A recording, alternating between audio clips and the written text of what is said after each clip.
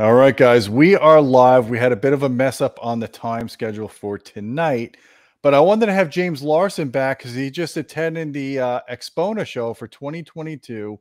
So I wanted James to give us his experiences on the different loudspeakers that he heard or different audio electronics that he heard.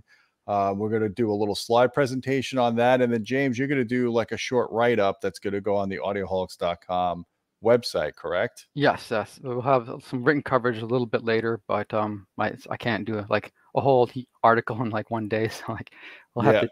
Well, why yeah. not, man? Come on, it should have been already written. There's. I'm kidding. Yeah, well, uh, I I would need one of those like text voice to text, you know, like transcriber things, you know, right. That, but. So, what did you go? Do you, did you go for one day or did you go for two days to the show? I went for two. The show was actually three days. I went for two because I just couldn't get all three. But um, I got what I needed to see. Uh, I pretty much covered the entire show. So, I you know, I I saw what what they had. I didn't need that third day. So, yeah. Okay. Yeah. Well, here I'm going to share the slideshow here, and if you guys want, you know, more access to this little PowerPoint that James did, It'll be on our Patreon channel at patreon.com slash audioholic. So please check it out there. Oh, that's the end. yeah, I know. I got to spoiled it. A spoiler alert. Damn. that's the final slide. There we go. That's the first slide. Okay. Um. Yeah. Okay. This is just the highlights. This is just some uh, the more interesting exhibits that I saw. This uh little presentation we're giving it's like here. a giant line array there. Yeah, those are some big old line arrays. Um, and like so like I mean, this is just a few of the things I saw at the show that I, I think is worth like mentioning in a, in a, little YouTube video. There was a lot there, so like yeah. you know I can't I can't possibly cover it all, or even mm, like what I thought or, among the better like you know exhibits. So these are just some cool stuff and some of the more um interesting things, you know. Right. Legacy. So, all right. Yeah. First off, legacy. Right. Um, they're all they always have a great um, put on a great room and um they had here there's the Aeris, the Focus. We did actually a review of the Focus SEs back in like I think 2013. Right. And um, but the one new thing they brought to the show this year was um, uh, now the Focuses are fully active. They're they're powered speakers now. So like, oh, okay. I didn't know they did that with the Focus. Yeah, now yeah, well, it's it is a brand new thing, and um, so now if you buy a Focus, you don't have to supply your own amp, they will supply one for you, and their amps are very powerful. So you'll have all. So is the amp is the amp on a rack mountable amp, or is the amp built into this cabinet of the speaker? I believe they're built in. Uh, you know, I didn't even check.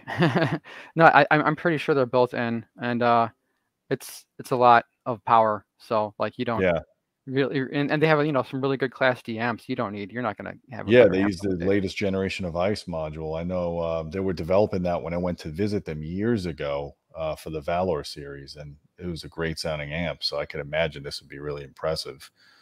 Yeah speaking of the valors i guess if you if you click one more t- to the next slide there, oh there you go. Yeah we, ha- we heard the valors there and what they they did an interesting demo for me. Um so you know how they have that like wavelet analysis module yep. by Bohmer, right? Where you know they sent your like the data to like Switzerland, right, and it gets analyzed, and you get a, like a, a kind of a room correction curve that corrects in both frequency and time, right? Um, they had this app where they were turning it on and off for us, so we could hear the difference, like a, a really rapid A/B switching, you know? Yeah. And um, on, on some in some cases it was mild, but in other cases it was very uh, apparent, right? The the differences that this, this room correction makes. So that was pretty cool of them to show that uh, that uh, give that little demonstration. And it's really easy to do with our app. I think I might have thrown a slide in there with our app. Uh, go to the next slide. Okay. Yeah, there, there's the app. You can control a whole lot with the any of their speakers with their app. By the way, all their speakers yep. now, all of them are um, can be room corrected using that like Bohmer um, room correction, that wavelet analysis room correction. So every every single speaker they had like four or five pairs of speakers there, and they all had this um this equalization thing running. I guess equalization is almost too simple simplistic to say what it's doing. You know, it's uh it, it's just uh like a it's it, it's more than just mere equalization. This uh this like room correction they're doing. So, how did the uh, how did the Valor sound to you? Was it? I mean, was the room good, or was it you couldn't tell because the bad acoustics, the or room, did they the actually room sound isn't really good? good because it's a it had a very large room, right? Looks Almost like huge, yeah. yeah, big, huge conference room, right? So the acoustics were subpar, but the room correction really helped. You know, um, yeah, no, the Valor is sounding good. I mean, I've heard them before, and they sound fantastic. Then they sound fantastic now. You know, they Yeah, they take a lot of the room out of the equation with, with this uh, room correction that they're doing. Um, and they're not cheap speakers, of course. They're I, 80, 80, 80 It- grand at least. yeah, 86 grand. Yeah.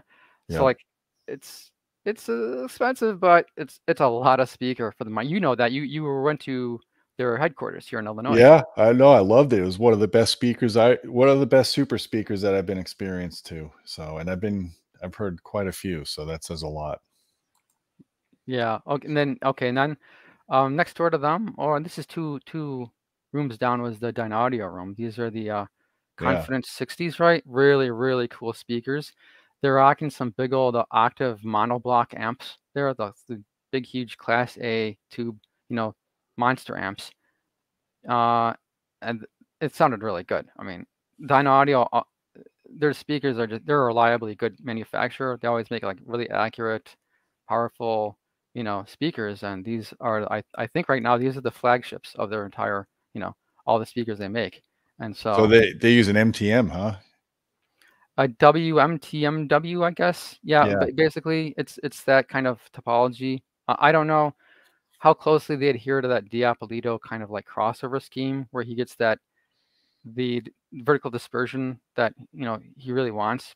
There's a lot of ways you could arrange MTMs um, Yeah. via the crossover, but th- they just sounded good, and I think I think they're they're probably if you measured them, they would be as flat as a pancake, like like most of other Dynaudio speakers. Yeah, they look good. I like the outriggers on them. It looks pretty nice. they are forty thousand a pair, so you know, they're it's a it's a cool speaker. Not they're not giving them away though. You know, it's, it's a little. They're not little- giving them away. Yeah, definitely. Well, Yeah, they've so- always been kind of pricey as Yeah. And they're not manufactured in China. I think they're manufactured like uh, somewhere in Europe. I think like Mhm. Scandinavia. I can't remember exactly where. Surpri- I'm surprised they didn't have any active speakers on display because they have an active speaker that I heard years ago that I really liked. Well, they do make studio monitors, and so they're not, not at all new to like active speakers. Um, I think these are passive. That most of their home audio speakers are passive, but like like so many other manufacturers, I, I'm sure they're getting into like active speakers for home audio too, instead of just pro Yeah. audio. So- Jesus, look at the size of those amplifiers. That's just ridiculous. wait wait till you see some of the other amps that that yeah like here's the uh contour 60s then audio contour 60s these are just a mere 10,000 a pair so you know this Uh. is the pocket change compared to many others Are those eight inch woofers? i believe so yes an 8 inch woofer i think a 5 mid-range and of course the dome tweeter um It's funny they got away from the triple tweeter. Remember they were doing that triple tweeter design on on their other flagship, and now it looks like they're just using a single tweeter even on their flagship. Yeah, that was a strange design, and I, Very I, I remember right, one of the tweeters, like the middle tweeter, was kind of like uh, high passed. At, uh, uh, the, the two upper, upper and lower tweeters were were, were um, low passed, right? Right. And they, they were also had a phase difference, so they didn't cause lobing or something. They had a really peculiar design for that that speaker. That I mean, that's I don't think that's a part of their offerings anymore. But yeah, that was an interesting speaker. I've heard that too at a, Yeah. at a past show. So th- this is, I mean, these are really good speakers. I mean, and I'm glad that they- they got their tweeter height higher because I remember their old flagship had like a tweeter that the whole driveway was upside down, and if you weren't sitting, the tweeter was way too low to the ground. Yeah. Oh, I remember that. Yeah, that's right. That you had a that it's like it was like this but upside down. I remember. that, Yeah, it was bizarre. I, I it looks like they're doing more conventional stuff now. So Yeah, it's always been good as far as I I've heard a lot of the speakers and they've I've always I'd like to get one in for review someday, but um, you know, yeah, maybe we could, maybe we could definitely do that. Yeah, I'm, something I can handle. I can't handle these speakers though. These are much much too large and heavy. So these were ten grand a pair. You said. yeah, these are ten grand a pair. I and, um, mean, in this day and age, for a, a giant tower like that, that's for high end. That's pretty reasonable. yeah, it's I think it's a good deal. Dynaudio, it's, it's they're reliable, reliably good manufacturer. Yeah. They- Now look at those amps. If you want to see an amp, Now let me. I'm trying to figure out is that Focal? Yeah, th- those are the Focal in-walls. Those are Utopia. Let's see, those are called the 1000 IWLCR Utopia Yeah. in-walls, right? Well, that's Yeah. the top part, and then those that like three those three bass drivers below. That's their um in-wall sub. So they got a triple driver subwoofer below these um W. I mean MTM W end Yeah. and it sounded really good. And um here you can see it was driven by by the, the a Naim Statement, right? You, you- I mean, do you, you know about this thing, right? I'm sure you've you've heard about this thing. It's crazy. That's that amplifier that you wanted Matthew Poes to review, right? Yeah, we still got to get this thing to them. You know, Yeah. it's like it's only a quarter of a million dollars. I mean, he's not. It's okay, right? He can. he can God, look at the size of that thing. I don't exactly remember the specs, but it's so far over the top that It makes Boulder amps look small. Yeah, it is giant. Well, the the two okay, there, you see how it's kind of three modules. The Yeah. inner module is the the preamplifier. So this is not just an amplifier; it's a preamplifier flanked by two mono blocks, right? And um, I love the I love the fins on this. The, the heatsink fins, you know how they're curved. You can't really see in this picture. Yeah, it's hard to see that. Yeah. but it looks so cool. This is the coolest looking amplifier. You know, it's just I, I think it's the coolest looking amplifier in the world. But there's a lot of other cool amps, you know. But uh, yeah, you can go to the next slide.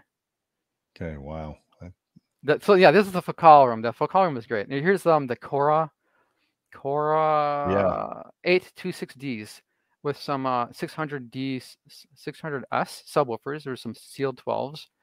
And I thought that this sounded really good. Uh, this is like a five channel system or what what I thought was interesting. These have an Atmos module built in the top. I think uh, I have a close up of it in the next slide. Yeah. So here's the, the Atmos module built in the top of those speakers. What's interesting about this, like, see those fins, right? Yeah.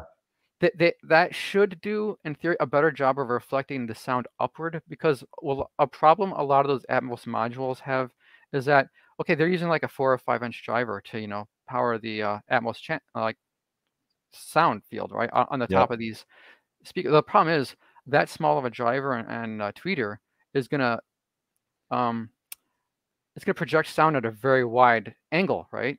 And so a lot of that sound is going to hit you, the listener, Yep. That's what I heard with them. Yeah. before before it reflects off the sound, right? And that ruins everything. It ruins everything. So this is a, strategy that should help ameliorate that. Is there a tweeter there too? Is it just a full range driver?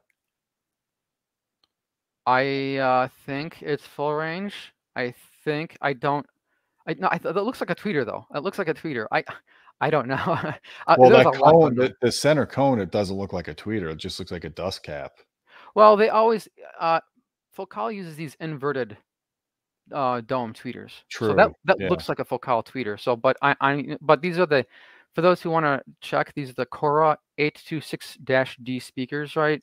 And you know that'll the, the de- details will be on their page. But I thought this is a cool strategy to like um help help get across that bouncy house effect better, you know. Yeah. I mean, it's they've they are getting better than manufacturers at, at making these speakers control the dispersion. And if you get this if you get the speaker at least a little bit above seated ear level, then it could do a convincing job of giving you a height effect, at least in a pretty narrow sitting area, but still much Yeah, better than the junk that we heard the first generation where they just didn't do anything to control dispersion. They use that cheap Dolby driver. Yeah, it's pretty bad. I mean, well, I Focal actually, I think most most manufacturers of these Atmos, these speakers with Atmos, are still kind of it's still kind of like a uh, afterthought for them. It's Yeah. s- kind of like a feature, like something to check on a feature list, right? And they're not really taking it seriously. But this shows me that uh, Focal is really actually taking it seriously, right? They want a good experience, right? So like they're a good manufacturer. Like this is this is evidence of some real engineering, if you ask me. So I'm looking at that. Yeah, I'm looking at a better top view of that speaker, and it looks like it's a single driver. Like, so that centerpiece might be a tweeter, or it just might be a full range driver. I'm not sure.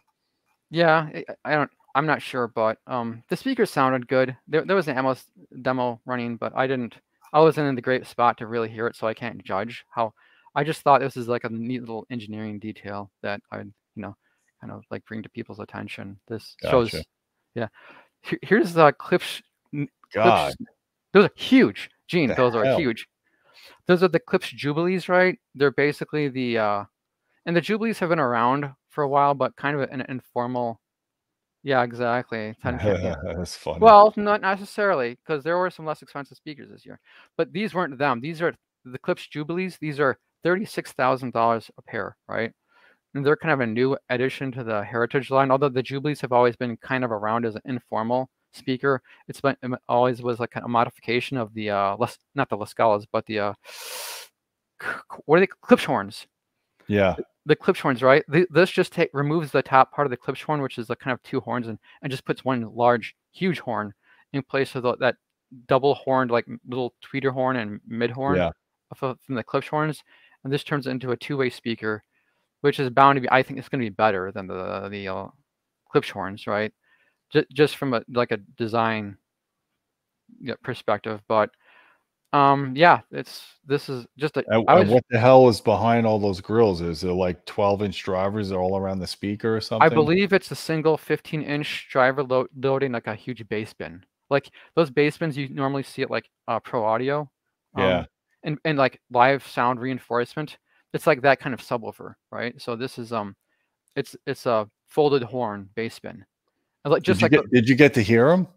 Yes, yeah, I did hear them but I didn't listen to them for very long. I was kind of in and out of the room, right? Because like I, I wanted to see more of the show, right? So I, I mean, here's okay. I should say that um for trade shows, I don't really try to make judgments on the sound. Yeah. Based on the equipment, I don't say, well, this equipment sounded good or that. I, I don't I don't attribute whatever I was hearing to the equipment because these things, these these setups, they're they're put up in, in like less than a day, right? and there's a lot of different equipment that's working together and who knows what something could be going wrong right? Or something could be going right that's not normal right? I, I, can't make it i don't make a judgment for whatever happens so like I, I, thought they sounded okay but i wasn't in there for very long so i don't i'm not so we might have to get them to send you a pair so you can measure them and right I'll have them send you a pair. you no. deal with those things, okay, Gene? I, those gotta be like 200 pounds each. Oh, no, they, they look like they weigh more than 200 pounds. Yeah, uh, but they're all wood. I mean, yeah, they're probably more than 200. Actually, you're right. That's 200. That they're more than that, but yeah. So we can go to the next slide. And now this What is yeah, these are weird. These are the uh Aries Cerat Auroras. They're are brand new. These are their like world debut at AXPONA. It's uh from Aries, a a manufacturer based out of Cyprus. And uh this is a very unusual design. Like, um, let, let me try to explain this to you. Okay, so like you have that that horn. Obviously, they're horn loaded, right? That's mm-hmm. just a mid range horn in the center, that big gaping like like yeah hole, right? And the tweeters see that those tubes on the top, like they're um firing um, sideways. Yeah, that's a horn loaded like horn loaded aluminum tweeter on the top, right? and on, on every side of the uh, the subwoofer, I mean, on, on every side of the speaker enclosure is a 12 inch subwoofer. Every side, right? Right. So like, I have more pictures that I'll get. Uh, like, go to the next slide. Um, yeah. Okay. Now this is a look at the inside of the speaker. See, so like every every side has like a subwoofer My driver. God, those are it. serious drivers. Yeah, they're they're these 12 inch. I think they're like they're not like like subwoofers really more like mid woofers like mid bass drivers right so like they pr- play a pretty um so these things are massive that picture didn't look like it was that big of a speaker these are big speakers these Holy. are big speakers yeah and and if you look what, what is interesting about this is that the, everything kind of like is focused on the the uh the center of the uh compression driver, right? So there's a Yeah. compression driver thing, and everything is kind of time aligned to the the the, the where the compressor driver diaphragm is, right? So there's really a lot of time alignment going on here, and uh, I think they're using an active DSP system, you know, but but physically there's a lot of time alignment as well as as um, you know, active like uh digital time alignment. So like, I don't know the cost of these speakers. I didn't get that, but I'm sure they're very expensive. everything in the room is really expensive. Um, I mean, how did it sound? It sounded fine. Like again, I don't want to make judgments, right? But I, I didn't I wasn't bothered by anything. So there's there's a big huge ribbon tweeter in between yeah. these two things that are acting like a horn, right? It's weird how they're just they're not are they supposed to fire at the listener? Yeah, yes, kind of. so of. you have to position the speaker in a way that you can rotate at, these. You can yeah. rotate. Oh, okay. So like they can fire at wherever you kind of like in that direction, right? But like someone's saying they're 135,000. I don't know if that's each or a pair, but probably a pair. I don't. I talked to the guy about them a lot, but I didn't even get the price. you know, I was kind of like, uh, you know, doing a lot, right? So like, uh, um, I I missed some details, but you can go online. I don't even think these have a website. These this is the world debut of these, and there's no product page for these. So yeah. Oh, you know, what? here's a nice transition. Okay, going from the, these crazy, you know, uh, design. Go to the next slide. Here's the Polk and Denon room and here's the L200s, right? So they're going from $135,000 speak to what, seven or $800, right? Right. So, and actually this it sounded fine. You know, the Legends are really good speakers. I reviewed the R700s, as you know. Yep. Really good speakers for the money, right? Re truly, really good speakers. And these are the bookshelves, and it sounded great in there. It was a very simple setup, right? They had the, uh, what was that, that uh, integrated amp they have? The, uh, uh, oh, the, the PMA? A110?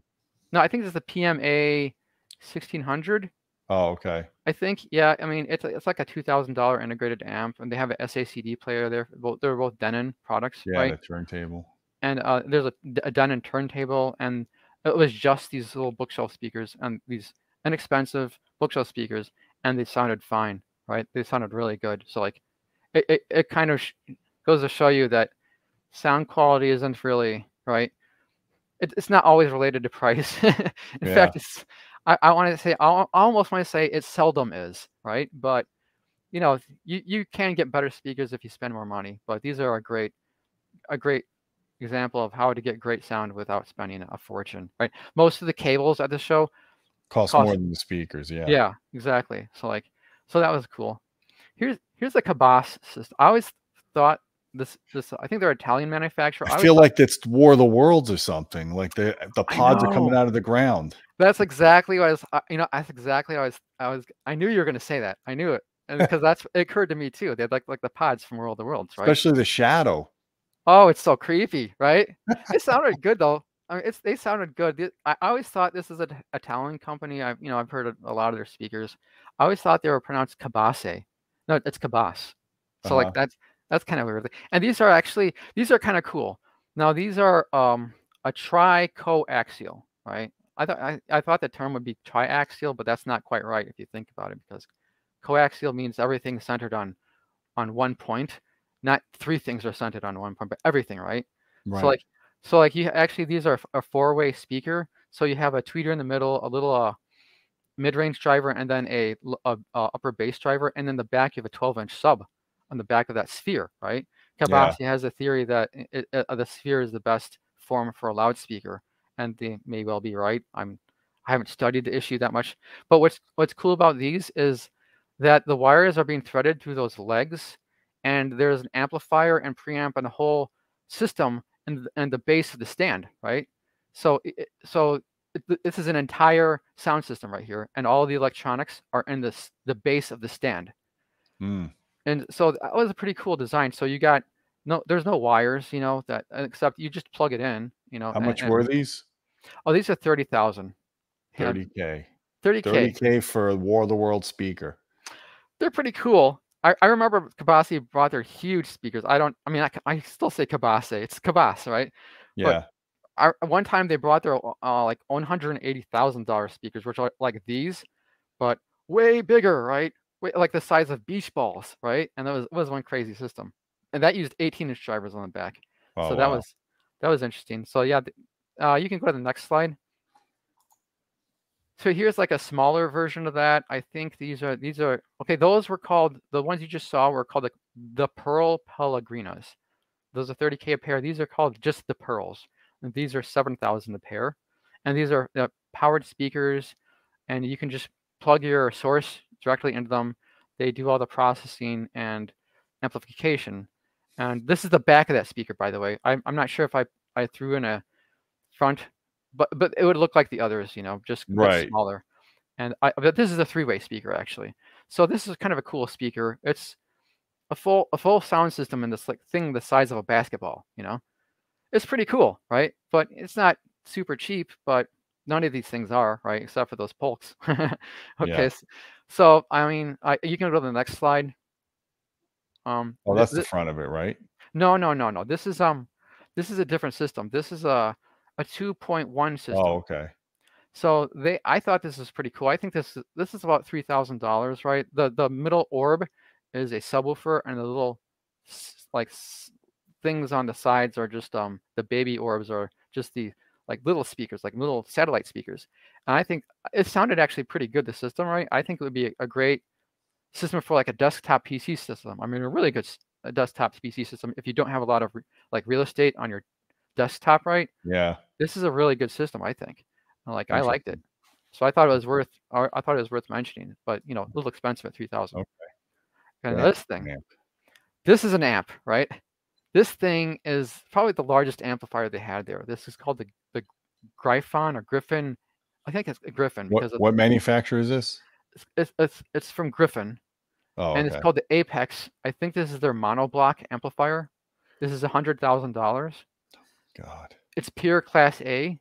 It Oh, makes my um 225 watts at 8 ohms, 450 at 4 ohms, 880 at 2 ohms, and 1690 watts at 1 ohm, right? So like it's a crazy, crazy thing, right? So you would need four kilowatts to power that thing if it's class A. Yeah, you yeah, it was just draw. It would be such a resource hog. You you would You need a dedicated 30 amp. reactor. Yeah, you need a 30 amp dedicated line just for this this a- amplifier. Wow. it weighs 450 pounds. It's three feet deep and two feet wide, right? Yeah. it's it was quite a sight, right? I mean, I, I, you know, if I had a hundred thousand dollars, I wouldn't blow it on an amp, but I, you know what kinda I would love to do? I would love to take that amp and put it next to like a Purifi Class D and do a blind test and see if anyone prefers that amp. Yeah, I mean, they might if it's like a cold day out. You, Yeah, could save on like warm their room up. yeah, you could save on heating bills. So like that would be cool, but still. You're not Right. saving on heating bills because you're using that much power. you're dissipating so oh, you're power. right. You know, you're right about that. Actually, this would be a pretty poor, an inefficient heating solution. That's for Yeah. sure. And also with those like those Purifi modules, you could buy like, you know, like 50 of those for the price of one of those. Oh yeah. And still buy us Tesla while you're at it. Yeah. Or or or an actually cool car because I don't I'm Exactly. not a fan of Yeah, you won't find me in a Tesla, so don't worry about that. okay, here's the new some new Magnepans they're making. Um, this is kind of a little hidden room, right? They were they weren't really advertising this room, but they were having you know if you if you caught the right rep, they say, oh, did you check the the Magnepan room out? So here's the new like Magnepan have the LRS speakers. It's their lowest kind of the smallest speaker of their line, and these are the new ones called the LRS pluses, right? Right. And and uh, one of the reasons why I wanted to mention this is this is like they actually had a 2.1 system going. They had some subs running on these dipole subs. They used the array of like open baffle six and a half inch bass drivers, right? And they they kind of had like an, a demonstration of with and without the subs, right? And I thought I thought these would sound really thin, right? Without the subs, I thought they wouldn't have much bass because it's a big. It's, I mean, it's a small planar speaker, right? You wouldn't expect that's not going to have a lot of displacement. But in my opinion, I thought without the subs, these had the most balanced bass of any uh, exhibit in the whole show. They just had the best, like the most. Every o- every other exhibit, the bass was over the top. Everyone, right? Yeah. and like it was just so i guess the rooms were really loading the bass but these sounded the bass sounded right right without the subs when they turned on the subs i thought that bass sounded a little thick right but like uh, that was interesting that that uh, uh, uh, I, I thought it was worth um mentioning just as in contrast to the rest of the exhibits where the bass was just every every room had the bass running hot all of them right? So like and and these the bass actually sounded natural so like so for all the people who say like oh audiophiles prefer you know fidelity and linearity no no because they all want hot bass and everybody loved all, all the crazy bass right like so that's that's that that's what this kind of like um illustrated to me but Huh. but anyway the speakers sounded nice actually i, I like these speakers How much were these a pair? oh yeah these are uh, about just a hair under a thousand dollars a pair I mean, that's pretty reasonable considering. Yeah, it's, those are good speakers. Like, like I think we should probably try to get some in for review because they're very peculiar speakers. I don't know how I'd measure these, right? Because you can't measure them like a normal speaker. Yeah. Right? But I think it would be make for an interesting review anyway. So we should maybe think about getting some in for a review, but sometime, you know. But th- right now there, there's like a five month backlog on these things, so you can't get them right away if you order one. Right. Okay, these were the uh, what are these called? Okay, these are a Polish speaker called the. okay, I got it. This is a weird word. Okay, called the Malbork Warsaws. That's it's a strange word, isn't it? Uh, Malbork Warsaws, right? And like you know, there's it's kind of a modular almost design. It's I guess it's not really modular since the whole thing is one system, but they they separate all the compartments to, to the individual drivers, right? And I think it's all the aluminum, right? It's just a big aluminum kind of artwork, and it sounded fine, but um, it, it was just something to see. This this whole the speaker system. It was uh, just a cool, like uh, looking getting kind of a Wally vibe out of this. Yeah, they did look like Wally or Johnny Five or something. yeah, like a like a science fiction speaker. Yeah, robot. Yeah, it did. Yeah, you can go to the next slide. That was just kind of a cool looking speaker. Of course, you know these guys. Yeah, they had the the per, PerListen had the S7Ts up, right? Just they were just killing it like they always do, you know. And uh, I you know I like I did a review of these like I think a year ago, and I I missed. I had to include them in here because I just I like it was a reun. I, I was reunited with these speakers I, I loved so much, you know, having so like um, but the, uh, I think what's what's new in the PerListen. Well, you know these. I don't have to, you know, you, you just posted a review Yep. of these, so we don't have to go too much in depth these. But go to the next slide. Okay. uh, what Per- PerListen brought, which was interesting. Uh, here's an in-wall. Okay, they're developing an in-wall, like in-wall, um, kind of like partners to all their like outboard speakers, right? And what impressed me is like the entire cabinet is like this thick aluminum, right? This thing was heavy, like the back box, right, and the and the front baffle was just a, a thick aluminum. The build quality was crazy, right? I don't know how much this weighed, but it was a lot, right? And that's just their like smallest in-wall speaker, right? I wouldn't even try, want to try to pick up their larger in-walls, right? It was like the build quality was crazy with these things, right? Really, Yep, it really is. yeah, that's that's a heavy, heavy duty in-wall speaker, right? But it's PerListen, so you know, and I'm sure that those are probably the same price as the spe- their, their uh, S4Bs, right? These are like the in-wall variant of the S4Bs. They're called the 4i LCRSs. Right. Yeah, these are pri- I don't know the price. You know, I, think those are probably ten grand a pair, right? But Yeah, I know their bigger ones are 10 grand each, so that probably sounds about right. Yeah, or, or maybe eight grand. I, I don't know. I should get it confirmed. But um, yeah, they're they're coming out with these, and th- this is a heck of an in-wall, right? So I I thought this is worth showing. Yep. Okay, now you want to see some amplifiers? Look at these. This is um, Those are Von Schweikert speakers, right? these are the von Schweikert Ultra Sevens. They're 180,000 a pair. Um, the amplifiers are VAC statement 425 or 452 IQ Musicblocs. Yeah, they're actually VAC is made in Florida. They're made about an hour and a half from where I live. Yeah, so these are mono blocks, and here's like these obviously these speakers being biamped, right? With these Yep. four mono blocks. So these are 75 75k each mono block. So that's what three hundred thousand dollars worth of amplification there. Insane. Like all tube amps, like I'm sure they're class And those A. cables, if I'm eh, that's that Von Schweikert branded cable from that I forgot the name of the company, but those cables are almost probably a hundred grand at least. They're insane. But you know what? Go, go to the next slide. Or actually, the next slide I think I have the close up of the those crazy amplifiers on this.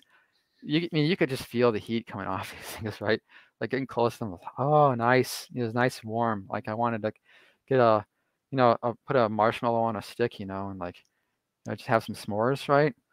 But next, what's funny is go to the next slide. There's the- cable lifters. I know they have all these cable lifters, right? This like system, this ultra expensive system, and they didn't really put this all the cables full off the cable lifters because the cable lifters can't really hold these, right? it's the stupidest thing I've ever seen. Yeah, like and like it is like and like I was oh I was mad because like I you know I was expecting the the pure beautiful sound of these speakers and amps, but it was all ruined. The sound was ruined because the cables weren't on the cable lifters, and it ruined everything. Gene, I, I've got to tell you. I that. bet it must have compressed everything.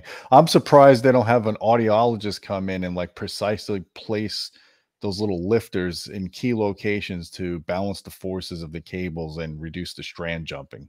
Yeah, they've got a they yeah, why yeah, it's just there there was not a lot of attention to detail here and it ruined the sound. So I was disappointed in this exhibit, you know. So that's that's why that room didn't sound so great.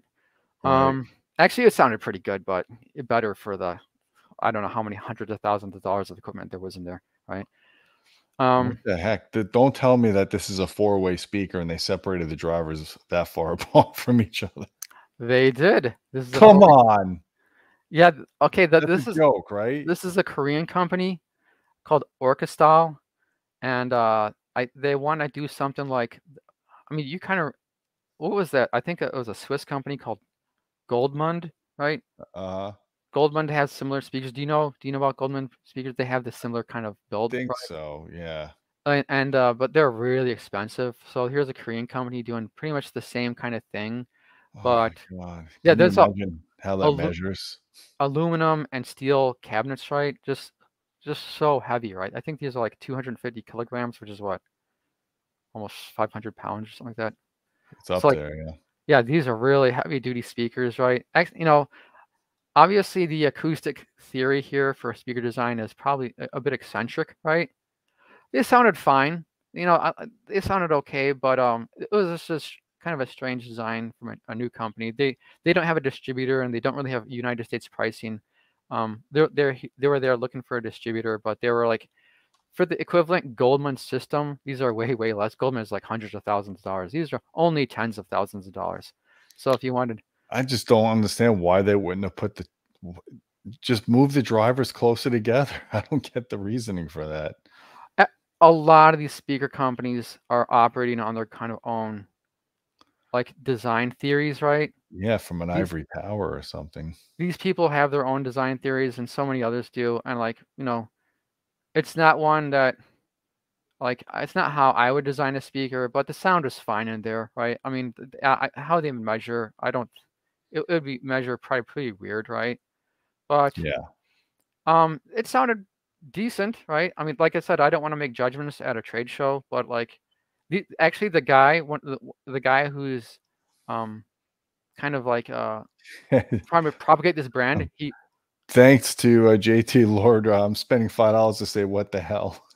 yeah, the, the well the guy who um I think one of the guys who who are like uh the founders of this brand is like uh he was a conductor for an orchestra and he wants to speakers to sound like an orchestra, but I think his acoustic theories are a little bit like odd, right? But it sounded fine and and I don't know. the- you know, there's probably people who like this. this Well, I'm sure it sounds okay if you're in one spot, but it's Yeah. move over to the left or right and you're in trouble. Yeah, they're going to have some lobing for sure, but ac- Yeah. they were using some pretty steep crossover slopes, if I remember right. Uh, And so, um, it was an, unusual. You know what? There's a lot of eccentric designs at these shows, and like none, none we would say are like are, are based on the science that we know, right? But I kind of like all, and these are just one. Like, there's a lot of these kind of like designs operating on like kind of strange. Here's just some close up, right? On strange like like theories, right? And like, but I think it's cool, right? That to have all these, you know, odd or at least unique speaker designs. It's one of the things I like about these these kind of shows and like audio in general. Even though it might not produce the best measuring speaker, it still sounded fine, right? So like, um, yeah, that was that was uh one that I thought was kind of cool. Yeah, see, here's another one that's kind of odd, right? But I think they're operating on a more normal, like you know, loudspeaker design theory, right? Where the drivers kind of spaced closer together, right? Um, these are called the Estelon Forzas, and they're 163k a pair, and like crazy cabinet, really heavy, really just works of art more than they are loudspeakers. But they sounded fine, right? I like the music they were playing at this this exhibit. So like um, they, they just look cool, right? Like almost like the Kef blades, but I think they look cooler than the Kef blades. But they're way more expensive than the Kef blades, you know. They seem like they're really tall. I mean, was that just the picture? This is a low angle picture, so they're they are kind of tall, but the tweeter is about maybe just a little bit above where you'd have your listening position, your head, your ears at the listening position. So like um, they they didn't sound bad. I don't. I mean, if you look at the design, it doesn't necessarily have any big problems on the face of it, right? That I would say, right? So like, here's your bass drivers at the bottom, and your mids are really close to the tweeter, so it should it should measure fine, you know. Yeah, they were they they sounded good, but like I said, I don't want to make a, ju a judgment yeah. at a trade show. Oh, so oh, I was wrong about those cables at um, Von Schweikert room. They're one hundred sixty three thousand dollars for the cables. I said they were about a hundred thousand. Oh yeah, I mean, I don't. There, there's just too too much equipment to all these rooms. I didn't really try to like you know. I'm joking. How ridiculous that is. It's, it's ridiculous. Yeah. I mean, well, people like that, right? They sell them, so I don't know what to say. yeah, no, this is pretty cool. I like these are works of art, and some of these speakers are just works of art. Like here's another speaker that's. Are these that's, plasma speakers? No, these are um. These are like okay. See the tops? Okay, the almost looks like like a uh. I don't know what you'd call that. The the tweeter is like a cylinder. The the diaphragm is in the shape of a cylinder in the center there, and there's it's connecting to two woofers that are kind of upside down, right? Uh-huh. Or, or, like reversed the way you normally see a, woofer like in a in a loudspeaker. So like you can see the uh, basket is connected to, and the motor is connected to the tweeter, right? And I guess it's using some kind of transmission line for that whole shape there. And uh and it's these are obviously omnidirectional speakers because the the the way that tweeters arranged and it has some super secret patent on the the, the tweeter. I couldn't really get the guy to talk, talk about how much how they actually worked, but this, the exhibit sounded fine, you know, uh, uh, for an omnidirectional you know system. Um, how much are these? These okay. These are called the Bayz Audio Carante. I think Carant or Carante, and these are sixty thousand a pair. Sixty thousand dollars for what looks like a paperclip. yeah, pretty big paperclip, but they sounded fine. You know, and omnidirectional speakers are generally pretty expensive. You know, you know, yeah. the hi-fi ones. There's there's omnidirectionals are way more expensive than these. I'm not going to say like sixty thousand is a great deal for any speaker, but you could spend more. You know, and, but I, I, think the electronics still looks pretty cool. You know, that that big amplifier. In the an interesting comment. I this I partially agree with this to some extent.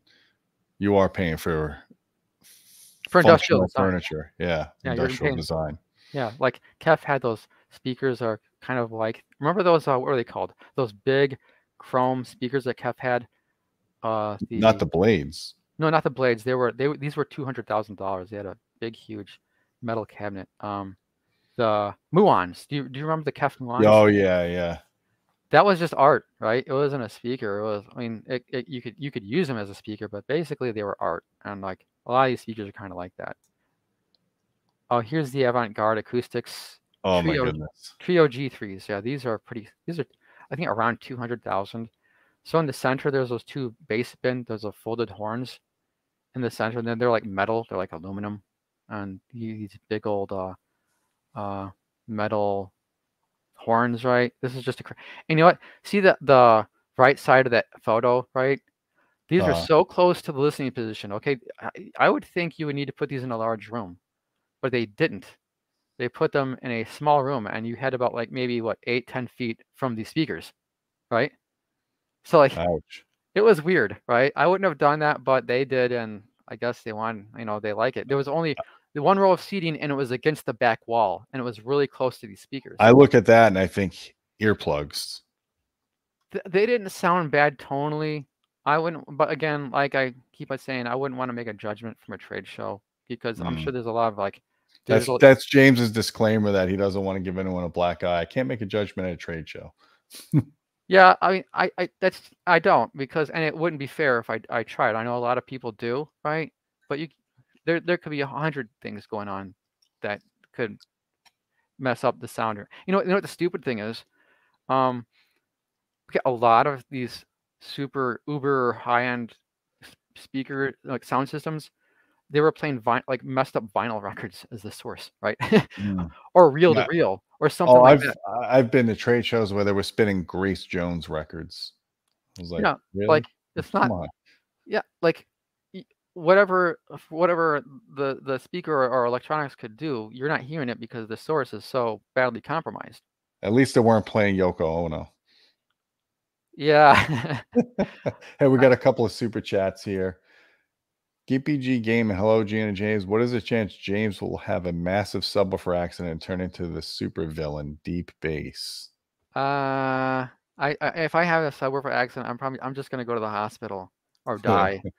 I, I should, you know, what, I'll, I'll I uh I, I could relate a funny story. Okay, so when I reviewed the uh, I did have a massive subwoofer accident once. I reviewed the SVS PB16 Ultras.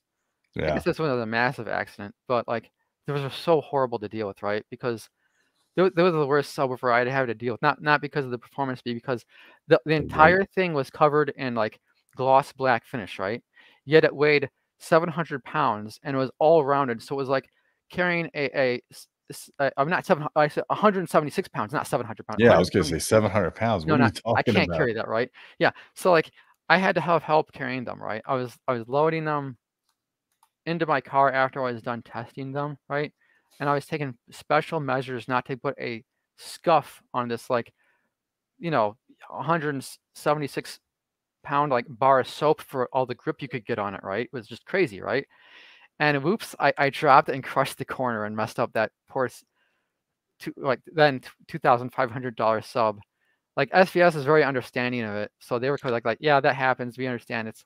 Like yeah, I, I kind of screwed up a. At least you didn't drop it on your foot. No, I'm not. No, I I, I just bashed the corner and like really screwed up that sub. It, it was Yeah. functionally it was still fine, but the obviously the the finish was like it became B stock.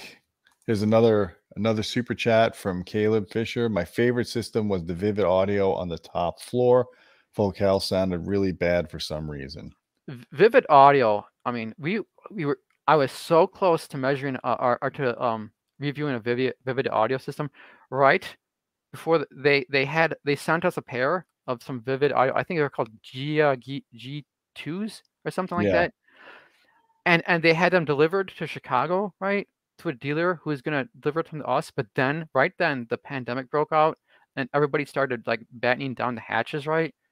and we just decided not to go through with it because they just well we, we could just we were you're going to sell these so they just decided instead of doing the review Oh yeah. they just delivered them to the guy who bought them and so like we were so close to doing a, a really cool and, and vivid they always measure super flat really wide distortion i mean no, not really wide dispersion and super flat That's a funny comment. the cherry on top of the cake yeah it would be i mean i, I believe she she would probably belong that sort of music would belong on some of these speakers. Yoko would buy these speakers. That's great. There was some stranger speakers than these. Uh, these are pretty strange. These are just Oh uh, my goodness. really over the top, especially with the room that we're in. Okay, these Okay, here's that line array that you had in the cover photo, right? yeah, these are called the Credo Credo Cinema LTMs. They're two hundred thousand a pair. Um, they're using thirty-two tweeters, 14, 14 4-inch mid ranges, and four 12-inch bass drivers on the side. That's kind of hard to see in this picture, but each side of these speakers there's there's 12-inch um, bass drivers, and so it's a line array. Line arrays are line arrays, right? Yeah. they always image big, right? Everything that line array it does big. Yeah. It can't it can't do anything small. And I I think I think it's cool, but um, it, it sounds cool, but it's not how I'd want my system to sound all the time, right? Because it, Right. it makes everything sound larger than life, right? I think some people re- really like that effect, but it doesn't image. It doesn't image with precision. You know, it can't. Mhm. You, you can't get anything precisely imaged with these uh line any line array that I've ever except for CBT line arrays, which were like Yeah. almost emulated a point source kind of like uh you know speaker. So that's that's how they got away with it. But normal line, line arrays always blow up. They blow up the soundstage to like, be big, you know. Yeah, so that's just kind of a sampling. Yeah, yeah, all all all line arrays do have they have. I, I don't want to say horrible imaging, just big imaging. They don't image Yeah. with precision. They just image everything like like you were at the IMAX, right? Everything sounds like it's I- IMAX, and it it's it's it's kind of cool sometimes, but you know I wouldn't I wouldn't want that to be my system all the time. It's like I would say it's a nice place to visit, but you wouldn't want to live there, you know, for line arrays. So like Yeah. yeah, so like I guess this is the end of the little slideshow. I, I whipped this together at the last moment, right? Yeah. Because like I was like exhausted, right? and like uh, I only had a few hours to put it all together, right? So like all those pictures together. So like um, you know, one thing we, uh, we wanted to mention was um, Oh, I should have had an image of them. I I couldn't get a picture of that tiger fox. Do, you remember you know that tiger fox thing I, I showed you and Matthew? That uh thing that you sit in. It, it's not a speaker. It's a like a like a little uh like a almost a folder that you sit in that wraps around you, right? It's like putting a room within a room, right? Yeah, yeah, I remember you sending us something about that. Yeah, uh, I think people should check that out. It's it's. I think maybe we should probably discuss that on a on a different because I didn't get any pictures of it and I couldn't get any, any them to talk about it too much, right? But it was a weird acoustic demo. It's like a, a an acoustic room you put inside a room, right? A little little room that maximizes early reflections. And I really want to get Matthew one of those because um, as an acoustician, I think you'd have a few things to say about them. It's called hmm. the, the Tiger Fox. Um, let, let, me see if I can look it up real fast. Tiger Fox uh, audio. Yeah, the Tiger Tiger Fox Immerse 360. So if you want to go to, uh, if you want to learn about this thing, it's called the Tiger Fox 360. Go to tigerfox360.com, and um, it's just a crazy. It's it's a it's like a little chamber that you're putting yourself in. Yeah, yeah, that there you go. And like they had that at the show, and like it it maximized early reflections, and it had this really cool effect of like spreading the soundstage out so wide, right?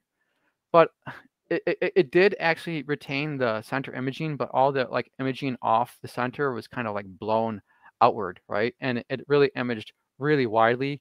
Um, it was kind of cool. Again, a nice place to visit, but I wouldn't want to live there. And they mm-hmm. and they were making some pretty over the top claims about what this thing was doing, but acoustically, it was doing something. It wasn't doing nothing, and it, and it did play with the imaging a lot. And like um, yeah, like and it wasn't too expensive either. I think it was like three or four hundred bucks for this thing. You know, like it's we got to get Matthew one of these. it, yeah. it, it's kind of fun. It was kind of fun, but not exactly high fidelity, uh, not a not a high fidelity kind of thing, but a fun thing, you know. So yeah, so that slideshow was just a sampling of some of the things that um, we saw at AXPONA, and like I, I included a lot of the oddities, but in my written coverage, I think I'll focus on like just the normal stuff that I thought was like higher performing or whatever, you know, like just like straight straight up like normal things that people would buy, right? Our readership would buy, not eccentric systems, you know. Someone was asking if you had a chance to check out Emotiva, ELAC, KEF, or HSU. HSU was there? No, they weren't. HSU oh, okay. was not there. They were there for the past few shows, but not this year. Yeah. Um, and and uh, this year they uh, they didn't have as many exhibitors as they had in the past few years because um, you know, it's just we're getting just past this pandemic thing. Like there's all kinds of supply issues and all kinds of weirdness going on. So like they're just kickstarting these shows again, you know, and like I guess I guess the audio industry got out of the habit of doing trade shows, right? And so now we have to get back in the habit of doing trade shows because it's been like two years since like the last trade show, you know, yeah, like two year absence of any trade shows. I didn't go to the uh, Emotiva room. I didn't even go to the ELAC or KEF. I, they all the stuff they had there was stuff I've already heard before. So yeah, I mean, if it's not new product, we try to prioritize on the new stuff. Yeah, I, I just try to like hit the new, the, kind of the new stuff or the interesting stuff. Or did you go see that PS Audio super speaker that they came out with? You know what? I forgot. I uh, didn't like. It's not really high in my board. it, it's there, there was a lot of eccentric speakers there, and I think that would be an, an, an eccentric. I mean, I had a lot of pictures, right? I, I was only a sampling of the, some of the things that I had, and there's a lot of. Oh, they weren't there. Okay, yeah, I I thought they were on the exhibitors list, but I didn't see. I didn't make a point of seeing them, but I didn't remember to go check them out. So like, man, you know, uh, I I don't expect those speakers to like be like a. They're not normal, right? And and who knows how what design theory they're operating on. They're not. Mm. They're kind of an eccentric speaker. Speaker. Um, are they good? I I don't know. They're they're not going to conform to any normal speak loudspeaker design or that, that we understand. It's like, hmm. I, and but again, I don't want to make a judgment right without without getting you know spending some time with it and and getting a good look at its objective um, performance. So that's yeah, that's that. Well, I think that wraps it up, guys. James, I appreciate you going out there to cover the show as best as you could. Um, I know it's a lot to condense into one little report like this, but hopefully uh, next year the show will pick up and get more vendors and and you know maybe we could do a live stream before AXPONA so we could request what people want to see you cover and uh, we can get some of that in there as well. So guys, don't forget about our Patreon channel at patreon.com slash audioholics. I appreciate your support. You get direct access to us if you want to ask questions or suggest video topics. And James, once again, thanks for being here and giving us the straight scoop as soon as when you got it. Oh, my pleasure. Yeah, it, has been a long day though. So I, I, probably got a lot of details wrong in my like reported reportage there, because like my my brain is like scrambled eggs right now. Like I've been up for a long time, you know. Like yeah. So, like uh, yeah, maybe I got some of this wrong, but the pictures are cool. Hey, so you know what whatever. Super chat. Thanks every day for the guys you do. Much love from Canada. You guys' reviews and info are invaluable. Thank you, KB. Appreciate that. Yes, All you. right, that is a wrap. And until next time, my friends,